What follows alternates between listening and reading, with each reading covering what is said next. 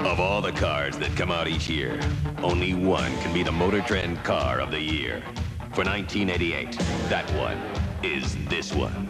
The hot new Pontiac Grand Prix. Get on the Pontiac and ride, Pontiac ride. The new Grand Prix, Motor Trend's Car of the Year. You've got to drive it.